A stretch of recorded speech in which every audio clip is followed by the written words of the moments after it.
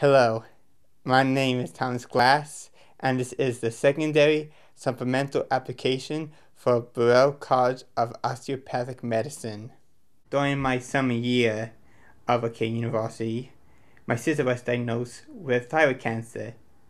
So me and my siblings were also tested, and I, unfortunately, was found to also have thyroid cancer. I reflected after my diagnosis and the result of the future that I wanted to become an osteopathic physician. The reason being is that I saw the quality and compassion they had for us, for me and my sister, during our cancer treatment.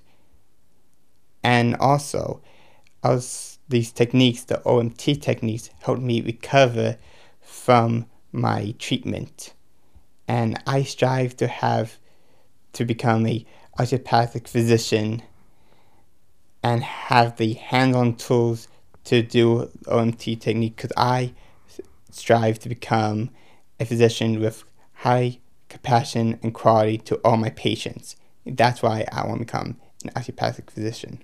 I picked osteopathic medicine because I like the holistic approach. This basically means that I like the idea of looking at people not just for their symptoms, but also for the culture, the family life.